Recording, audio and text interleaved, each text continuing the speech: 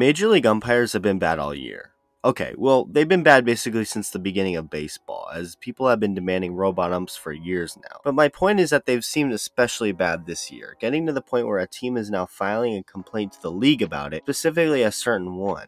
There were tons of questionable calls in a recent game between the Padres and Marlins that went against the Padres, and they were not happy. Two guys got ejected, and like I said, Major League Baseball is getting a phone call. Take a second to like this video, and if you're new to the channel and end up enjoying this video, be sure to hit that subscribe button for future baseball content. So yeah, umpires have always gotten tons of calls wrong throughout the years. It's really nothing new but it's noticeable now more than ever, and it's not just Angel Hernandez. Yeah, Angel Hernandez has made some terrible balls and strikes calls this year too, of course, but it's a league-wide thing that's becoming an issue. Doug Eddings was behind the dish as the home plate umpire for a recent game in Miami as the Marlins took on the Padres, and little did he know that on this very night, he was about to become the most hated and wanted man in San Diego. It all pretty much started on a strike three called to Ha-Seong Kim on a pitch that was pretty clearly outside, but just one call, oh well, on we go. We then have Fernando Tatis Jr. rung up on a pitch clearly outside, brought back in by the catcher. Tatis is someone who rarely gets pissy with an umpire, and actually got pissy with the umpire this time around, standing at home plate for a little while and complaining before going back to the dugout. With a runner on second base in the top of the sixth inning and the Padres up by only one run, run, Wil Myers struck out on a pitch clearly below the zone and inside. Tatis and Manny Machado were having none of it, throwing their arms up in disbelief and telling the first base umpire that Eddings needs to get his eyes checked. Ha-Seong Kim was then victim to yet another bad strike three call. High and outside, brought back in by the catcher yet again, and Kim was not happy, arguing to the point where manager Jayce Tingler had to intervene to make sure he wasn't ejected.